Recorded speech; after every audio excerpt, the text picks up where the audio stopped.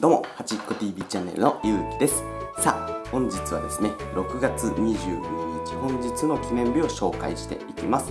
まず1つ目、えー、教師の日、エルサルバドル。えー、結構ね、教師の日って本当に世界各国で、えー、制定されてて、なんだろう、いろんなね、国であるから、その教師の日がかぶったりとか、何日か続いて教師の日があったりとか結構してますね、えー、続いて日韓条件条約調印記念日。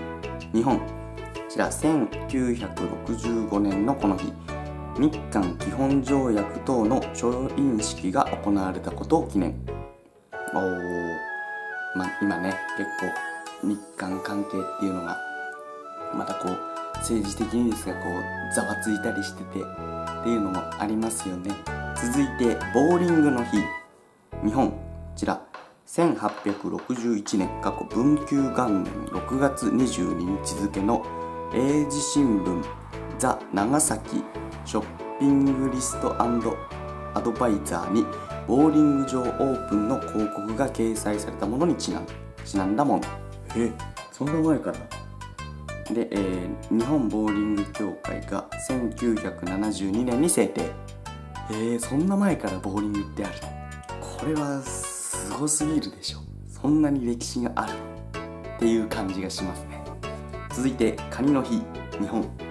こちら面白いですよ。カニの日、えー、50音順で「か」の文字が6番目「に」の文字が22番目に登場することに加え一般的な星座占いで蟹座がこの日に始まることにちなんだもの。へえ。これちなみにさらに制定したところが面白いです。制定したのは、え蟹道楽を運営する JR JRI 株式会社蟹道楽が1990年に制定。あ1990年だと、えー、僕とためです。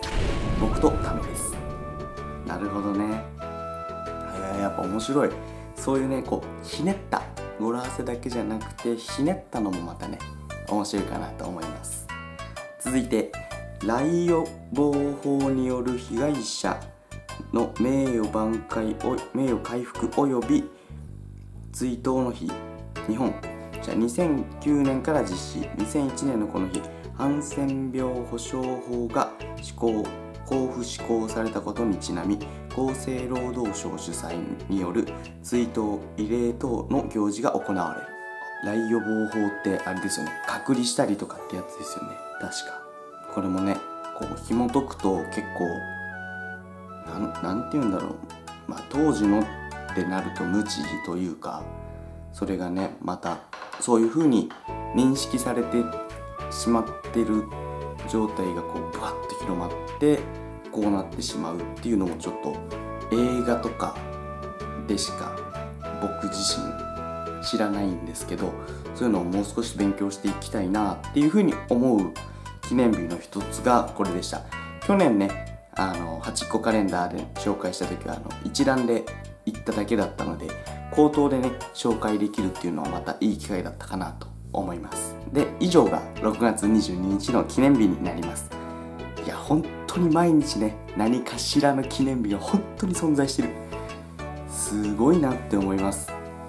ほんとねもっともっとこういう記念日を紹介していけたらなと思っております。それでは次回の動画でお会いしましょう。皆さんコメントでもねこの記念日何？とかこんなのもありますよ？とか教えていただけると嬉しいです。それでは次回の動画でお会いしましょう。またね